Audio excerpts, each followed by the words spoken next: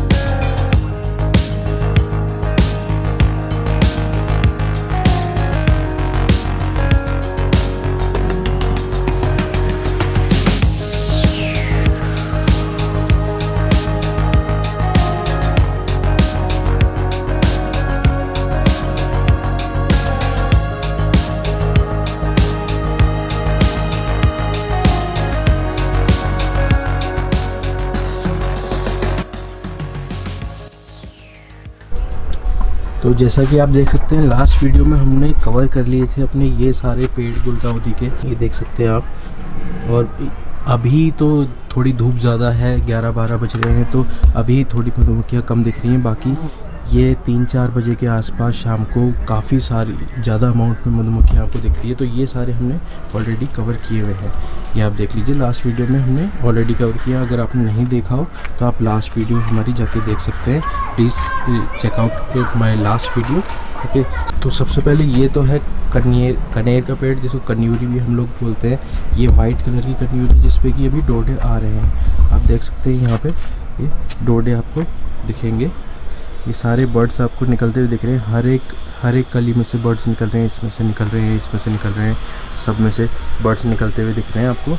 ये वाला जो नेक्स्ट हमारा पेड़ है ये आ, जाता है मोगरे का। तो यहाँ पे मोगरे का पेड़ है। ये बारिश अभी भी आता है लेकिन बारिश के टाइम पे कुछ ज़्यादा ही मोगरे आते हैं और इतनी अच्छी खुशबू आती है इसकी। एक और चीज़ मैं आपको दिखा देना चाहता हूँ जो आप केले घर में खाते हैं। वैसे जैसे आप आपने केला खाया उसके जो छिलके हैं, उसको रख लीजिए। ये ये पेड़ों के लिए कैल्शियम का एक बहुत अच्छा स्रोत है। ये आप क्या करिए कि जी जैसे काला हो गया है, अभी थोड़े टाइम बाद इसको धूप पे ये सूख जाएगा बिल्कुल। तो इसको क्या कर लीजिए, आप ग्राइंड कर लीजिए अगर मिक्सी में कर सकते हैं, या फिर जैसे हमने पेड़ों के लिए अलग से एक मिक्सर ख़रीद रखा है तो हम उसमें ग्राइंड कर लेते हैं।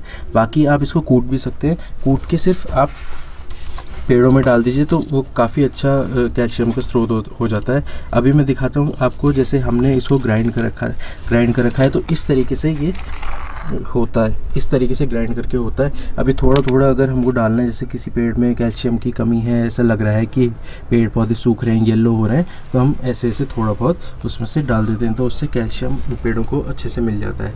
उसके बाद मैं आगे चलता हूँ। चाइना रोज़ के आपको पेड़ दिखाता हूँ, जिसमें कि कीड़े लग रहे हैं। इसमें मैंने जान के अभी तक दवाई ज़्यादा इसलिए नहीं डाली कि आपको मैं दिखा सकूँ कि कीड़े किस तरीके से इसमें लगते हैं और किस तरीके से पूरा पेड़ ख़राब कर देते हैं। और हम आपको दवाई डाल के भी दिखाएँगे कि किस तरीके से हम दवाई डालेंगे और उसके बाद कीड़े इसमें से थोड़े टाइम बाद चले जाएँगे। ये देखिए तो ये है चाइना रोज़ का हमारा पेड़ और इसमें अगर आप अच्छे से देखें तो इसमें आपको छोटे छोटे काले काले कलर के कीड़े दिखेंगे। ये मेरी पूरी रो चाइना रोज़ की, जैसे ये आपको रेड कलर का एक चाइना रोज़ दिखेगा, ठीक है? इसमें भी आपको ये कीड़े ही नज़र आएँगे। सारे जितने भी बर्ड्स हैं, ये सारे बर्ड्स कीड़ों ने ख़राब कर दिए हैं, आप देख सकते हैं। इसमें मैंने इसी के लिए अभी तक दवाई नहीं डाली थी। मैं आपको दिखाना चाहता था कि किस तरीके से हम लोग दवाई डालेंगे और किस तरीके से ये कीड़े यहाँ से जाएँगे। तो सारे जितने भी हमारे चाइना रोज़ के पेड़ हैं, आप यहाँ से देख सकते हैं। ये तीन, चार पेड़, पाँच छः पेड़ सारे चाइना रोज़ के सब में थोड़ा थोड़ा थोड़ा थोड़ा जैसे कीड़ों ने काट रखा है। जैसे यहाँ के मेरे ये थे ये वाली चाइना रोज़ की सीरीज़ थी तो इसमें ज़्यादा कीड़े लग रहे थे तो हमने इस पर ऑलरेडी दवाई डाल दी तो इसमें से अब कीड़े काफ़ी कम हो गए हैं। ये रेड कलर का है, ये आपको येलो कलर का मिल जाएगा, ये ऑरेंज कलर का चाइना रोज़ है, और ये भी लाइट येलो कलर का चाइना रोज़ है। तो सब में आपको बर्ड्स दिख रहे होंगे। और ये बर्ड्स बेसिकली थोड़ा थोड़ा सा फ्लावर खिलता है और फिर वापस बर्ड्स ख़राब हो जाते हैं। और क्यों इसलिए ख़राब हो जा रहे हैं क्योंकि इसमें कीड़े लग रहे हैं। आज हमने इसमें सुबह सुबह दवाई डाल दी आप देख सकते हैं। यहाँ पे वाइट वाइट आपको दिख रहा होगा। बाकी मैं आपको भी दिखाऊँगा कि किस तरीके से आपको दवाई डालनी होगी जिससे आपके सारे कीड़े मर, मर जाएँ। तो नेक्स्ट पेड़ में जैसे हम आते हैं तो ये लंबे वाले बॉक्स में हमने ये पेड़ लगा रखे हैं। जिसमें कि सबसे पहले आपको ये वाला दिखेगा डॉग फ्लावर, जिसको हम स्नैप ड्रैगन भी बोलते हैं। और काफ़ी अच्छे फ्लावर्स आते हैं, इसमें अलग अलग कलर के फ्लावर्स आते हैं, जो कि विंटर सीज़न में आते हैं। बस उसमें red, yellow, dark dark red, maroon, ये भी कलर आपको मिल जाता है। और बहुत ही अच्छे कलर आते हैं। एक और चीज़ मैं आपको इसके साथ दिखा देता हूँ। हमने पेड़ लगाए थे श्याम तुलसी, आपने अगर नाम सुना होगा तो श्याम तुलसी के पेड़ लगाए थे, जो कि हमने लगभग 50 टू 70 इसके सीड लगाए थे, लेकिन सिर्फ़ एक अभी तक इसमें बडिंग निकली है। आप देख सकते हैं, श्याम तुलसी क्या बनती नहीं अगर आप नॉर्मल तुलसी अगर लगाएँ तो काफ़ी सारी उग जाएगी आपकी, पर श्याम तुलसी उगने में काफ़ी टाइम लग जाता है इसको। और हमने 50 से 70 बीज लगाए थे, सिर्फ़ एक ये निकली है बडिंग और काफ़ी मेहनत के बाद ये निकली है और काफ़ी अच्छा लगता है जब आप ऐसे निकल निकलते हुए देखते हैं। अभी हमने बीज लगाए थे और सिर्फ़ एक उसमें से ये निकला है, आप देख सकते हैं। बहुत अच्छी और बहुत प्योर तुलसी मानी जाती है, श्याम तुलसी। तो इसको अभी हम बड़े गमले में शिफ्ट कर देंगे। अभी हम नेक्स्ट पेड़ में चलते हैं, जिसका मैं आपको दिखाता हूँ कि जैसे ये डॉग फ्लावर था, ये डेंटिस है। डेंटिस में से भी काफ़ी अच्छे फ्लावर्स आते हैं। और अभी ये इसी गमले में हमने एक, दो, तीन, चार और पाँच टाइप के ये प्लांट्स लगा रखे हैं जो सर्दियों में आपको फूल इसमें काफ़ी अच्छे देखने को मिलेंगे। और इसी में हमने एक टमाटो का भी एक प्लांट उगा रखा है जो कि अभी छोटा सा ही है और अभी ये बड़ा हो रहा है, बड़े होकर ये आपको काफ़ी अच्छे फल देगा। उसी के साथ मैं आपको दिखा देता हूँ जो ये छोटा सा है और यहाँ पे आपको दिखा देता हूँ मैं कि यहाँ पे हमारे, यहाँ पे टमाटोज़ आने भी लग गए हैं। अभी ग्रीन है, थोड़े टाइम में जब ये बड़े हो जाएँगे और पक जाएँगे तो ये रेड हो जाएँगे।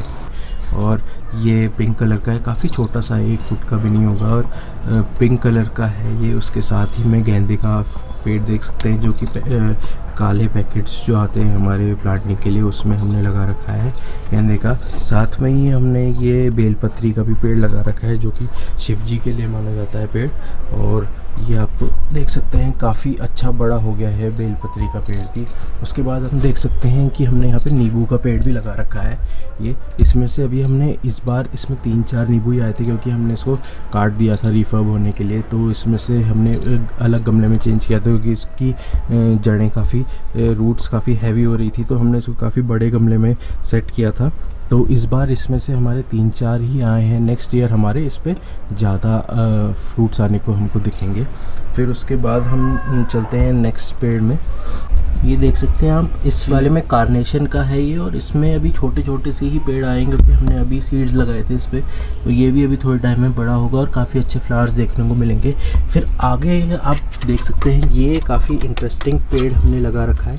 ये बहुत ही छोटा सा बॉक्स है। बहुत ही छोटा सा प्लांट बॉक्स है और इसमें आपको देखने को मिलेगा चाइना रोज़ अपना। बहुत छोटा चाइना रोज़ है, ये हमने बोनाशाही चाइना रोज़ बना रखा है और काफ़ी अच्छा लगता है। इतने छोटे से बॉक्सेस में जब फ्लावर्स आते हैं तो बहुत अच्छे दिखते हैं, जैसे कि आप नेक्स्ट पेड़ में देख सकते हैं, ये गेंदे का फ्लावर है, जो कि बहुत ही अच्छा देखने को देखने को लग रहा है हमको।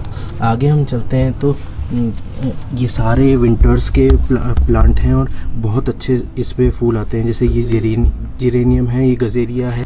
तो ये एसर का प्लांट आपको जैसे देखने को मिल रहा है। सर्दियों का है ये भी और इसमें भी सेम गुलदाउदी के जैसे ही पेड़ आते हैं। नेक्स्ट पेड़ में अगर हम चलते हैं तो मैं आपको दिखाता हूँ।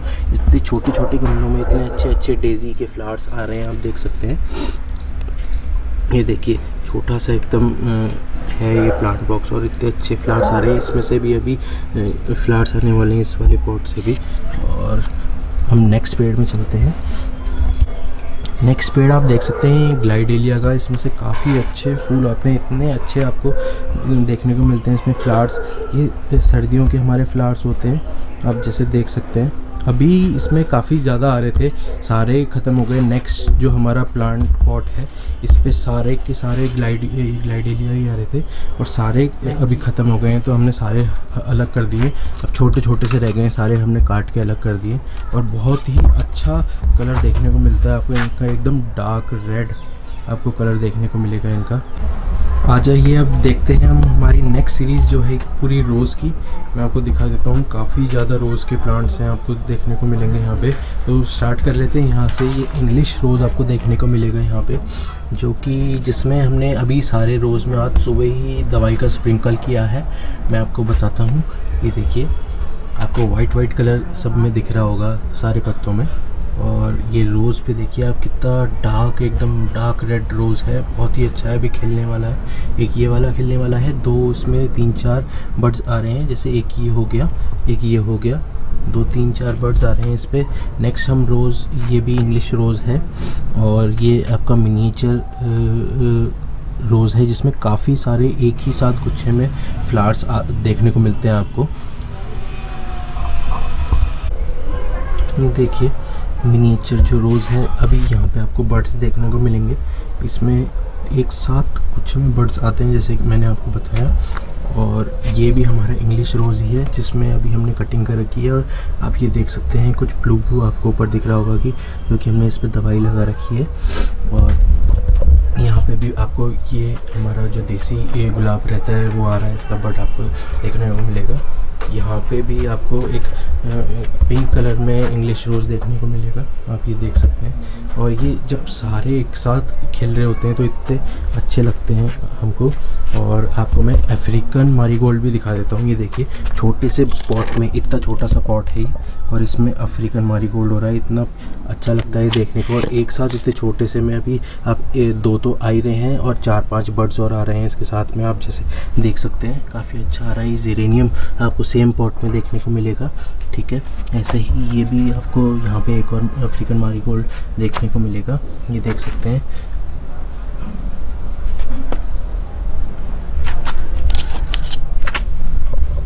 ये पिटोनिया का पेड़ देखिए, इसमें से काफ़ी अच्छे फ्लावर्स आ रहे हैं और इतने छोटे से पॉट में ही सेम छोटा सा पॉट है। इस पर बहुत ही अच्छे फ्लावर्स आ रहे हैं। पिंक और वाइट का कॉम्बिनेशन है बहुत ही अच्छा लग रहा है ये पिटोनिया भी। सेम पिटोनिया एक और हो रहा है। इसमें भी अभी फ्लावर्स आने बाकी हैं। ये भी आप देखिए मिनीचर गुलाब। इस मिनीचर रोज़ में भी काफ़ी सारे बर्ड्स आ रहे हैं एक साथ। आप देख सकते हैं। और जब ये आता है, ये गुच्छे में आता है छोटे छोटे आते हैं, बहुत ही अच्छे लगते हैं। यहाँ पे हमने अपना कोरिएंडर लगा रखा है इस बॉक्स में। ये देख सकते हैं।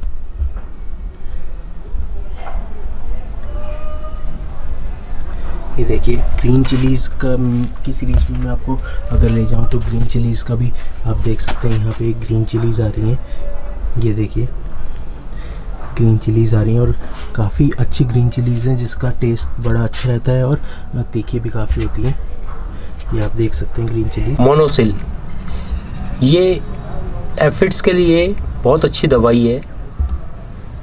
ये क्या है कि एफिड्स को जो भी आपके एफिड्स लगते हैं तो हाई डोज नहीं है ये।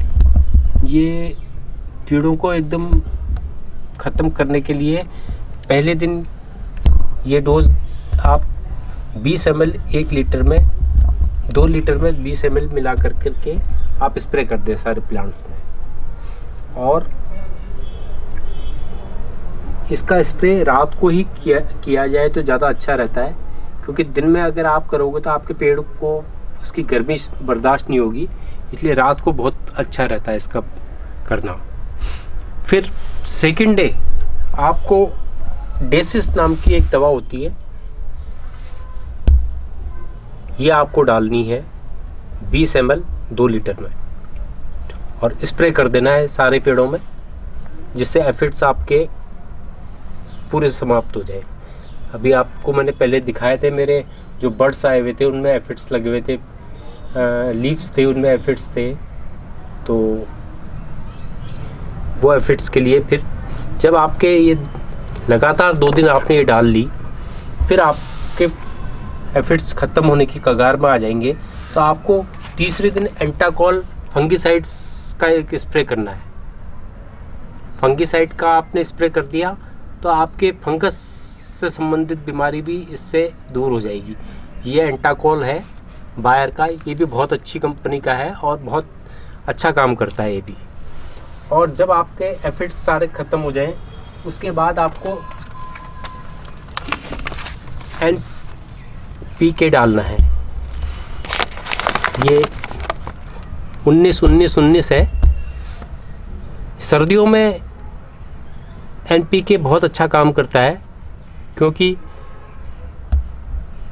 ज़मीन जो होती है वो बिल्कुल ठंडी होती है तो एन पी के हम जब डालते हैं तो उसको हल्की सी गर्मी, जड़ों को गर्मी मिलती है और वो डेवलप करती है जड़ें एकदम।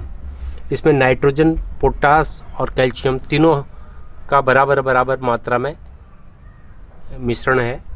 और जो पेड़ों के लिए आपके लिए बहुत अच्छी है। उसी तरह आप आप इनको और भी अच्छा डेवलप करना चाहते हैं तो आप केले के सूखे पत्ते जो सूखे छिलके जो होते हैं, उनका पाउडर बना करके आप इसमें डाल सकते हैं, क्योंकि उसमें मैग्नीशियम सल्फेट बहुत ज़्यादा होता है आयरन होता है कैल्शियम होता है मैग्नीशियम होता है तो आप उसको डालेंगे तो आपके पेड़ बहुत अच्छे डेवलप करेंगे। ये आपको मैं दिखाता हूँ। इसका पाउडर, ये इस तरह का पाउडर बन जाएगा। और आप एक एक चम्मच एक गमले में पंद्रह पंद्रह दिन में डालेंगे तो आपके पेड़ बहुत अच्छे डेवलप करेंगे।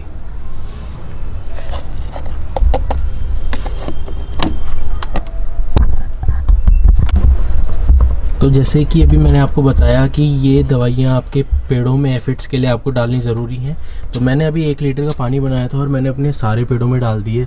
तो आप भी इस तरीके की आपका कोई स्प्रिंकल बॉटल हो तो आप ये स्प्रिंकल कर सकते हैं अपने पेड़ों में इस तरीके से। और इससे सारे आपके एफिड्स दूर हो जाएँगे।